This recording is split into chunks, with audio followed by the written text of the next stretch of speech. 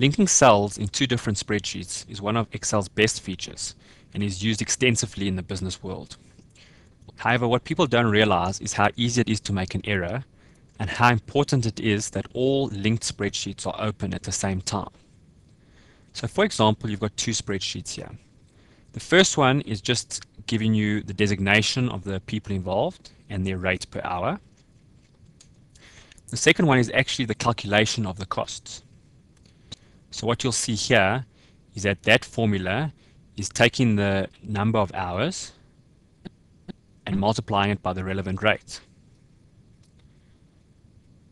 which is correctly listed there. Similarly, the structural engineer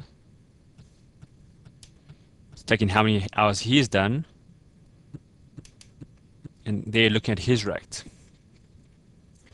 Now, if you keep these two workbooks open at this and make structural changes, the effect is that Excel will adapt the formula to take that into account. So just to emphasize, this formula here took D12 and multiplied it here by G12, which is here. If for whatever reason we insert another row here, what you'll see is if you go back to this formula, Excel has adapted the formula to take that movement into account. As a result, you are still correctly looking at the correct place.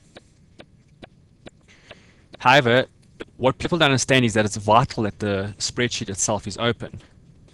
So for example, let's close the spreadsheet down and we'll we won't we'll make the changes to it.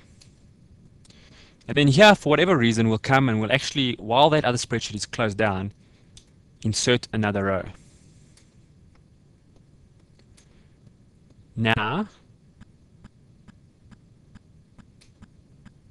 if we open up that spreadsheet again, what you'll see, and it's immediately noticeable here, is that suddenly there are zeros coming through.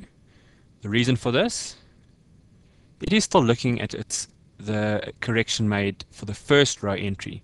So when you look at where it's looking, it's still looking at that old cell. It's a very common error to make. And if the spreadsheets get big enough, um, it's very difficult to spot.